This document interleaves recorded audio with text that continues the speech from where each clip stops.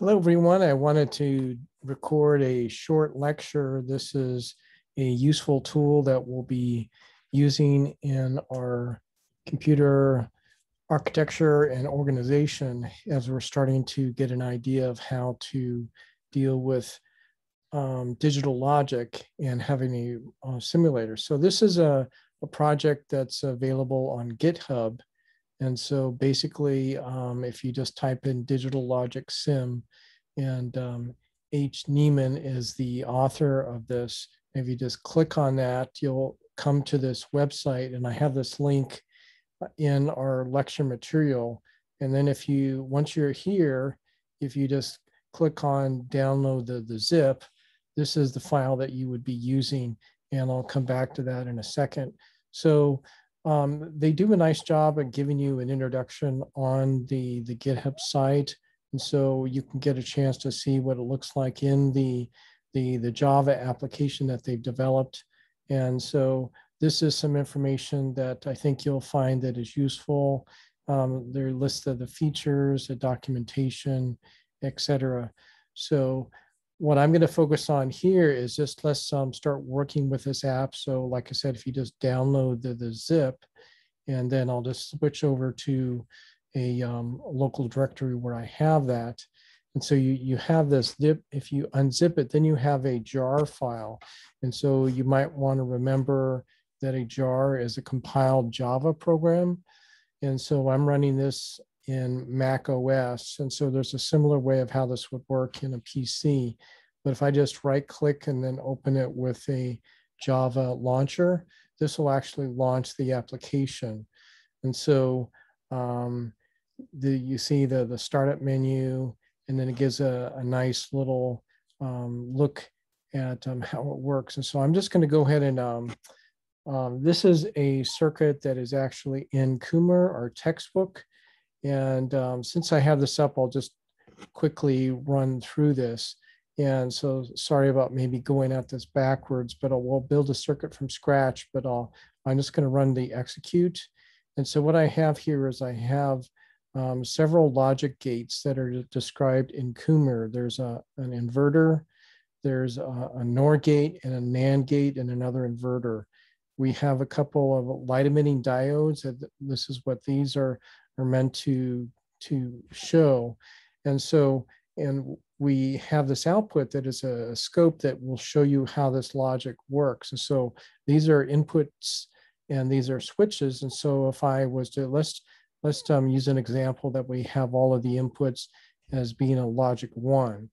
And so you can see that when you click it, it, it turns on and and this is what you saw that popped up here is this logic display. So now that I have them all on, we can see A, B, and C, and then the output is here. And so I can click them on and off. And so here, if I click this off as an inverter, it turns the LED on here. Um, if I turn this one off, um, you, you can see some interesting logic that we'll go over a little bit more in class. Um, so right now, we're not seeing much of a change in terms of the, the output. Um, so let's let's try this now. So if um, now you can see that there's a change in the input and the output. And so there is a, a lookup table What is this, this digital logic um, relates to and we'll get get to that a little bit later. So this is just giving you a, rough idea of what it looks like to to be doing um, this type of application with this um, simulator. So let's go ahead and do a, a new um, simulation. And so I'm just going to use a couple um, simple gates. And so let's start with the components. And so let's start with an AND gate. And so, and then I'll have also have an OR gate. And so these are some things, if you're not familiar with what these mean, um, we will start to go over that over, over time in class. And let me just kind of let you just watch me um, putting this information in here and you can start to, to see um, it's relatively easy to be putting in this logic. And so um, first I'm putting in the, the inputs and then I'll put in an, an output. Um, and then the way you just put in a wire is this literally, I'm sorry, I made a mistake. These are, these are not outputs. Those are, I mean, those are outputs rather than inputs. So let me put the inputs. So you have an input there. And the neat thing that it does is once you've done it once, it puts it into a recently used file um, access over here, and then you can easily just um, go ahead and, and, and do that. So the way that you put in a wire is just literally if you click, it's, it's really easy to just be um, wiring these things up. And so here I'm just showing you an example of going from the inputs um, to the, the logic gates. And so here's, I'll just connect this here, try and make it line up. And then finally going to the output. And so now I've created a logic um, with two inputs that are and together so that this would give a logic one if the both of the inputs are one and this is an OR gate so it can either be either or so now I'll just do the put it into execution mode and so the only way I get a positive output here is that both of the inputs are high and you can see with a, an OR gate, it's either or will give a, a logic one coming out. And so as long as there's one input that is giving uh, a logic one, then this will turn on. So at this point, it doesn't matter what this other input does. But if I turn one of these things off, um, let me see, I just turned this one on. If if only if one of those on, it's this this will not be positive will not give a logic one.